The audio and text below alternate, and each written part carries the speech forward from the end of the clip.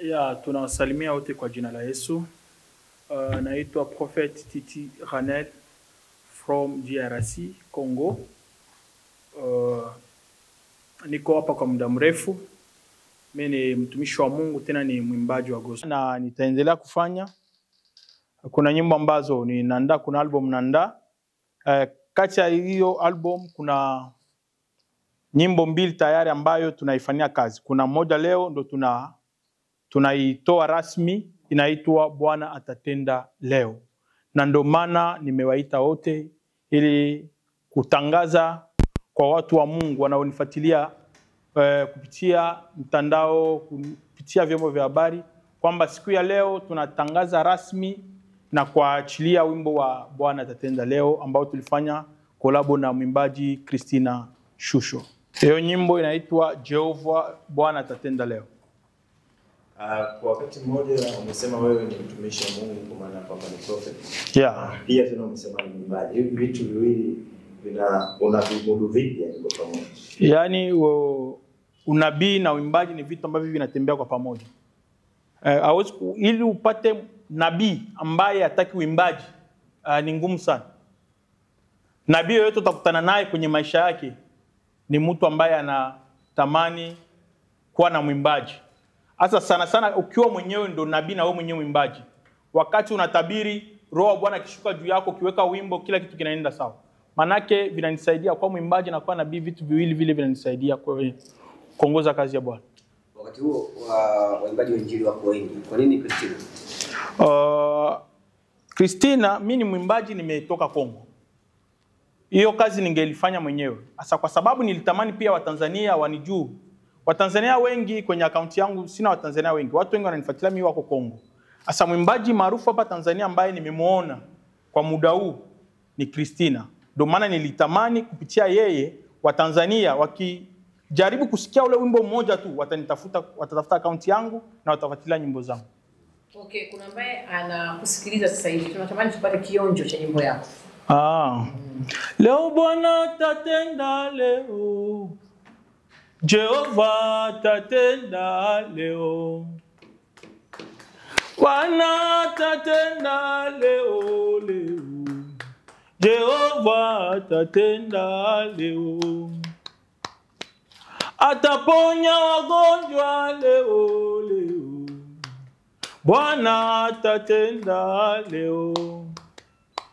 Ainuliwe Jehova Rafa, hiyo lele, ainuliwe Jehova Rafa. Yeah. na na nyimbo ishakuwa inapatikana kwenye hizi platform za music platform. Yeah, inapatikana kwenye audio inapla, inapatikana kwenye platform zote.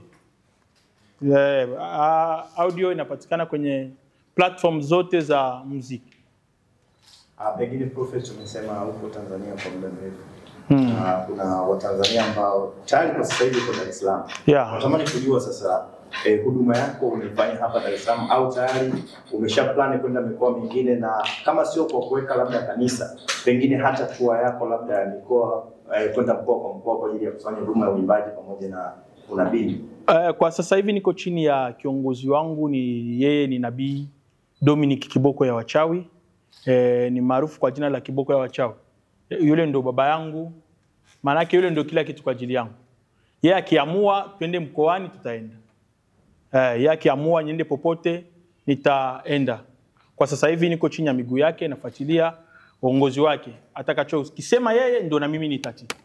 Okay, tumeona waimbaji wa injili wengi um, waimbaji wa injili wengi wakifanya matamasha. Unata- Unatarajia kufanya tamasha na wewe? Uh, kwa hiyo ni bado bado, ila kuna wakati ambao Mungu ataongoza. Unajua, kila kitu hatuwezi kufanya kitu kwa kufurahisha watu eti kwa sababu watu fulani wanafanya hivi na sisi tufanye. No, tunafanya kazi tunayoifanya, tunafanya kwa kufuatana na roho wa Bwana.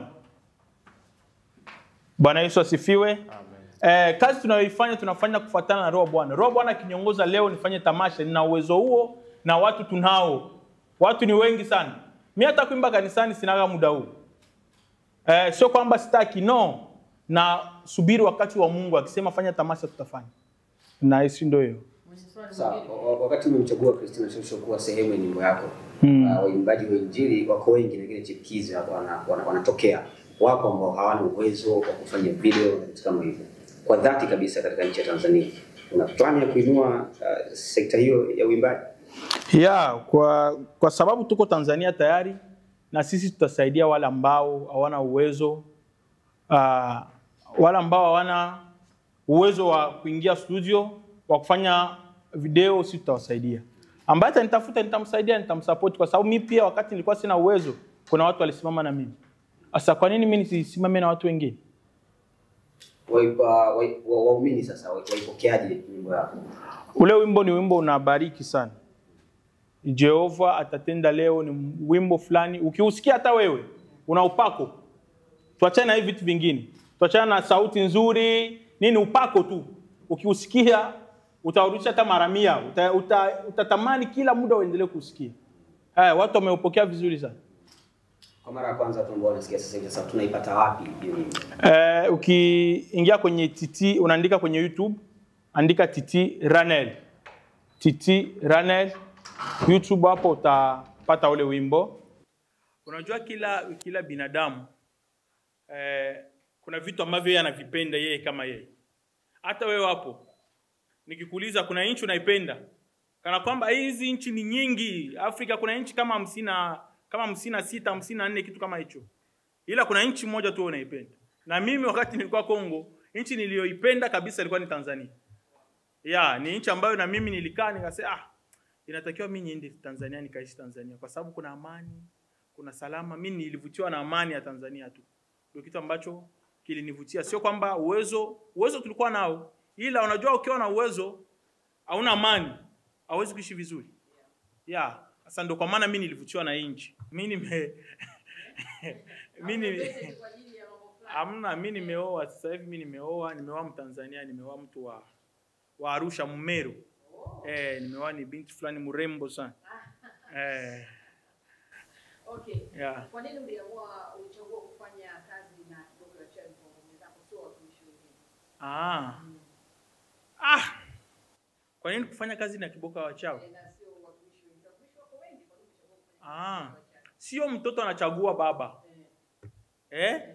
Eh, sio mtoto anachagua baba. Manake wakati Mungu alikuwa anaumba, aliweka kwenye program zake. Akasema wakati fulani Titi Ranel atakuwa mtoto wa kiboka wa chao. Eh, manake mimi ni vigumu siwezi elezea. Ni vigumu. mi siwezi elezea. Ni Mungu ndio aliplani anasema kipindi fulani mtu fulani atakuwa chini ya mtu fulani.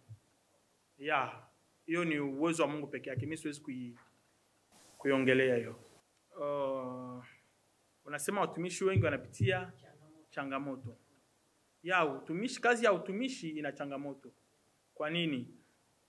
Sisi watumishi wakati tunaombea watu, mapepo yanayofuatilia watu, kwa sababu sisi tuna uwezo zaidi ya vita vinavyofuatilia wale watu wa Mungu. Tukifukuza yale mapepo, kuyatoa kwenye mili ya watu, yale mapepo yanaanza kutuangalia sisi. Kama hujajipanga, hauwezi kuwa mtumishi wa Mungu. Hiyo ndio changamoto ambayo tunakutana nayo. Ndio maana utakuta watumishi wa Mungu wana watoto majambazi, wengine malaya. Kwa nini? Wakati unafanya maombi, wakati unaomba, unasaidia mtu ambaye alikuwa na vifungo, yale mapepo wakati yanaondoka, yanatafuta yaende wapi? Yakiangalia kwanza wewe haujajipanga, wewe umejipanga vizuri, yanaenda kwa mke wako. Mnaweza kujiuliza, ndio maana mnaona ndoa za watumishi wengi wewe zinavunjika. Ya, unaweza fuatilia kwa sababu mtumishi baba amejipanga ila mama hajijipanga. Unatoka kanisani umeombea watu na amani, unafika nyumbani unakuta mke kanuna. Hiyo ni changamoto. Kwa nini? Mapepo yale yanafuata. Sasa kama una roho wa Bwana juu yako, ukifika hapo unakuta mama amenuna na wewe unanuna, ugomvi unaanza. Sasa ukiwa na roho Bwana unakuta mama amenuna, unamwambia nini? Eh, unaanza kumpiga mabusu hapo, asira yote inaenda. Sio kwa sababu hawana upako. Uh, kitu kinaitwa ndoa. Kuna watu wengine wakiingia kwenye ndoa uh, ndoa inakuwa sukali kwa ajili yao. Kuna wengine wakiingia kwenye ndoa, ndoa inakuwa chungu kwa ajili yao. Sasa kwa hiyo sisi Kama ndoa ni sukari kwa ajili yetu, ni Mungu alipenda, ila pia ndoa inaendesha kwa akili ya ndoa inaendeshwa na Mungu, ndoa inaendesha kwa akili ya mwanaume. Nimekwambia hapa, narudi nyumbani nakuta mke wangu amenuna, hapo inatakiwa nitumie akili ili ni nitengeneze mazingira pale ndani. Ukisema usubiri Mungu aje kutengenezea mazingira, hapo unaharibu kila kitu. Ya, ukiniona mimi hapa eh, maana yake kuna serikali ya mbingu, unaelewa? Hapa mimi namwakilisha Mungu. Mungu hawezi tembea peke yake, unanyelewa? Mungu anatembea na msafara zaidi ya waraisi. Sasa wewe, Biblia inasema hivi, naweza kuisema vizuri kwa Kifaransa, double honneur à mes serviteurs, manake watumishi wake tuwaheshimu mara mbili. Kama rais anaweza kutembea na msafara wa magari sabini, manake mtumishi anatakiwa atembee na magari hata mia na nusu. Naeleweka? Yeah, tunastahili heshima mara mbili. Sasa nyinyi kwa sababu tu watu wengi wanawapenda kufuatilia eti wao ni wasanii tu wa, wa wanaitwa sijui bongo. Ya wale ndio inatakiwa wawe na walinzi. No. Pia ni binadamu naweza kupigwa na, na mtu yoyote Sasa wewe hivi unikuta hapo nje napigwa. Najilindia heshima peke yangu. Hello? Wewe ni mtu wa Mungu, unaweza kukutana na kichapo nje na kutwanga kabisa. Sasa kama una mlinzi utalia na wana, wa, watu wa sasa hivi unapigwa wanachukua nini video wanasema pasta fulani alipigwa na kichaa yeye anaona kabisa ni kichaa ila anachukua video ili aku, akutangaze kama ulipigwa. Ndio maana sisi tumetengeneza mazingira. Popote ninapoenda nina walinzi. Najua roho wa bwana ananilinda ila walinzi wapo. Ya kuna msemo fulani wa biblia mungu alisema mjitunzie mili nitawatunzia roho. Hello, naeleweka?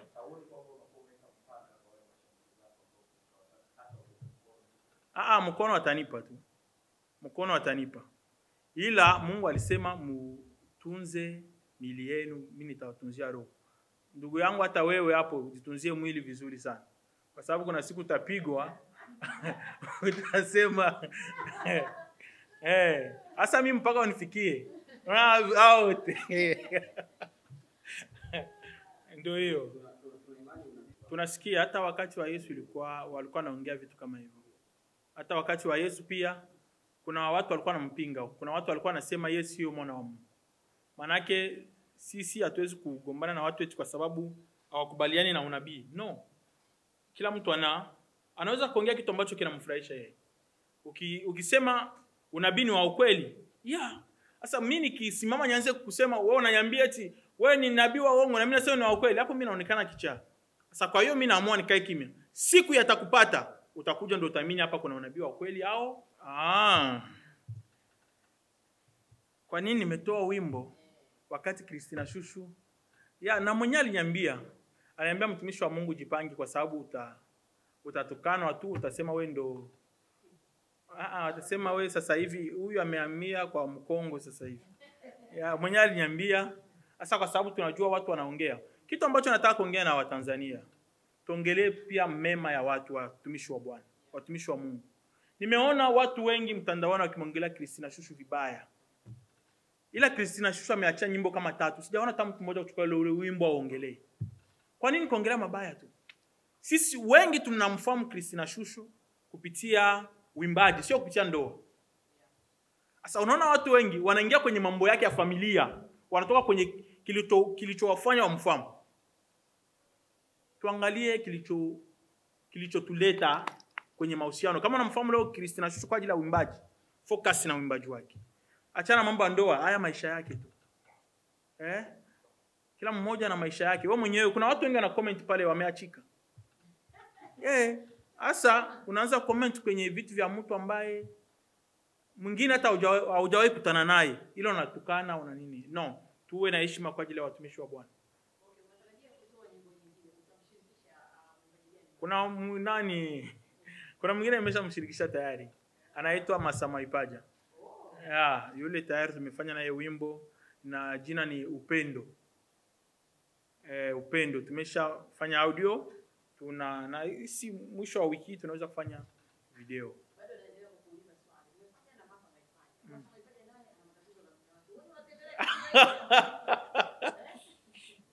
Ah, nilipiga. Kuna faida gani? Mimi nimeoa. Kuna faida gani? Mimi nimeoa. Wale ni watumishi na waheshimu kama watumishi. Na nampenda na sana Masa Waipaja kwa sababu ana neema fulani ya ya peke yake. Wao wame wame waliwahi olewa na waliingia kwenye ndoa. Mimi nimeingia. Wao wanajua vingi kuliko mimi. Sasa mimi leo siwezi kumlaumu kwa nini kwa nini alivunja ndoa. No, siwezi kumlaumu kwa sababu yeye anajua ndoa vizuri kuliko mimi. Sasa mimi pia kwa sababu ndio nimeingia kwenye ndoa na msi Mungu aniwezeshe sehemu ambayo walionitangulia walipita kwenye makosa, nipaone Mungu aniwezeshe nifike mwisho na mke wangu.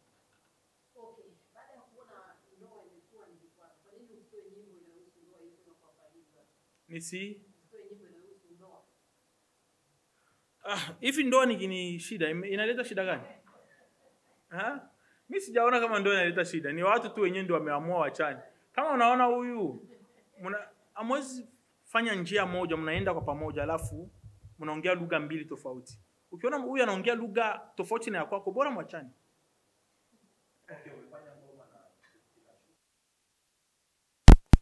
Sasa hawezi kumchukia Diamond kwa sababu anafanya bongo bongo flavor. No. Hiyo ni, ni aina ya muziki kuna amechagua fanya. Unajua zile nyimbo eh, kwa Kifaransa wanasema hivi la musique est là pour édifier. Maanake muziki uko pale kwa ajili ya ku, kusaidia, ni kama kufundisha. Unaweza kuta mwimbaji mwingine kama Kongo kule tuna waimbaji anafanya bongo flavor, ila ukisikia muziki wake maanake unakupa ni somo fulani hivi kwenye kwenye kwenye wimbo wake unasikia kuna somo, na hiyo ukifanyia kazi unaweza fanikiwa kuliko hata hizi nyimbo za nini za, gospel.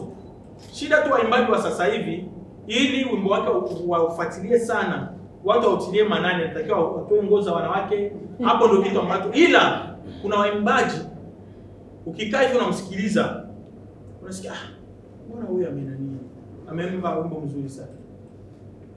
Sasa mimi sifikiri kufanya uh, kolabo na wasanii wa bongo, hata kukutana nao, kukutana nao tufanye nini? Wakija kutafuta msaada, maombi, waje tu, tutawapiga pawa, watafanikiwa, ila kuunani no. Kuna swali nauliza katika hizo nyimbo wazalishaji wa- waliozalisha nyimbo ni wa Tanzania au ni wa Kongo?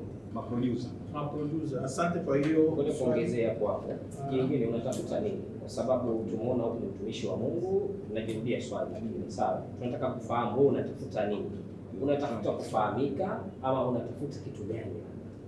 Mm. Eh, alafu tuende na Hivi nani hapa duniani nataki kufahamika?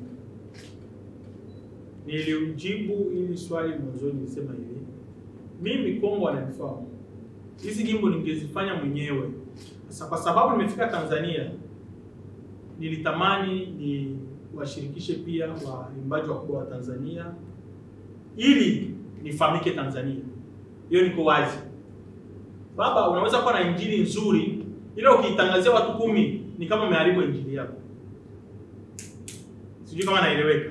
Unaweza kuwa na material na vitu vizuri. Sasa kwa sababu unawapa watu wawili ni kama huna maana. Sawa. una vitu vizuri, tafuta mtu ambaye anaweza kukusaidia. Vile vitu vizuri visikilizwe hata na watu mia mbili, mia tatu, hapo unaweza kufanikiwa. Unajua niki- nikimwambia mtu Mungu atatenda leo, watu mia wakisikiliza wanasema Mungu atatenda leo. Kuna mwingine asubuhi alitaka kwenda kwa mganga wa kienyeji, anasitisha, anasema Mungu atatenda na kwa sababu ataamini, ataona mkono wa Bwana juu ya maisha yake. Hasa ule wimbo mimi nikiufanya naweka kwenye akaunti yangu, maana yake Wakongo tu ndio watasikiliza. Sasa nazuia hao wa Tanzania kusikiliza. Ndio maana nimeamua nifanye na Mungu kwenye jina ili wanaomfuatilia wafuate ule wimbo, wajue kwamba Mungu atatenda leo, na nikisema atatenda leo, anatenda leo. Ukiamini unaishi mkono wake, na hisi ndio hiyo. Ah, wale ni watu wao, Wow. yeye ni wa Tanzania. Uh, kuna mmoja anaitwa mm, anaitwa Nathan kitu kama hicho, jina lake ni Nathan. Na video Video amefanya Anskana. Anskana ni Tanzania. Tuna Wakongo hapa ambao wanacheza mpira, wengine walishafanya vizuri nyuma kina Maele. Pengine umefikiria kuonana na Wakongo kuwapiga power waweze kufanya vizuri zaidi? Sijajua kama ni mshabiki wa mpira. wanakuja wengi, wanakuja pale kanisani kutafuta maombi, tunawaombea ili wafanikiwe. E, wengi wanakuja asija kanisani no, wengi wanakuja wanaomba mkono wa Bwana, tunawaombea, wanaenda kufanya mambo yao. Uh, mimi pia ni shabiki wa mpira. Mimi mpaka sasa kwa, hata niko Tanzania ile nashabikia TP Mazembe. Kwa Tanzania kwa Tanzania hapa na mimi nashabikia Simba. nashabikia Simba. Mm, naipenda tu. Mimi naipenda tu Simba. Na hiyo ni miongoni mwa sababu. Uh, wimbo ambao nilifanya na Christina Shusho niliuposti kwenye akaunti yake. Wimbo wa Masama Ipaja nitauposti kwenye akaunti yake. Audio tunaweka kwenye akaunti yangu. Video tunaweka kwenye akaunti zao. Ina maana atakayetafuta audio anaenda kwenye akaunti yangu. Atakayetafuta nini video anaenda kwenye akaunti zao. No, mapato wao watachukua. Vile unajua vile vitu vidogo vidogo visitupe pressure. Hata akipata milioni mia achukue. Haya, sawa, utabarikiwa. Hiyo mimi niliona watu wengi walinifuata, wengi tu waliniambia, kwa nini mnaweka wimbo kwenye akaunti yake? Mbona yeye ndio ataingiza hela? Nikamwambia sio shida. Mimi kama bado ngali chini, ili ufanikiwe, inatakiwa utoe gharama. Sasa kama bado ngali chini na wewe unataka upate pamoja na wale wakubwa, hauwezi fanikiwa. Ya, kama uko chini, tulia, acha wale wakubwa wakule muda wao. Kuna wakati wako utafika na wewe utapata chakula. Ya. Na na watangazia wa, wa Tanzania kuna nyimbo Bwana atatenda na upendo. Bwana atatenda tayari iko kwenye akaunti ya Christina Shusho. Video eh, audio iko kwenye akaunti yangu. Uh, upendo hiyo tutaweka audio kwenye akaunti yangu na hiyo pia tutawatangazia wakati wa kuachia video yake. Upendo audio tumeshamaliza. Ah. Bwana Yesu ni upendo. Yeye ni upendo kweli. Bwana Yesu ni upendo. Yeye ni upendo kweli. Mi nililia sana. Mi nililia sana. Mi walicheka mufami wakati nilikuwa na tesa. Mi nilichekwa sana wakati nililala njaa.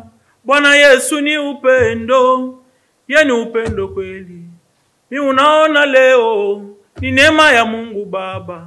Mimi unaona na furaha ni neema ya Mungu Baba. Nililie, nililia sana. Mi nililie, nililia sana. Bwana Yesu ni upendo. Ye ni upendo kweli. Ah, na hisi ndo wimbo wa upendo. Mm.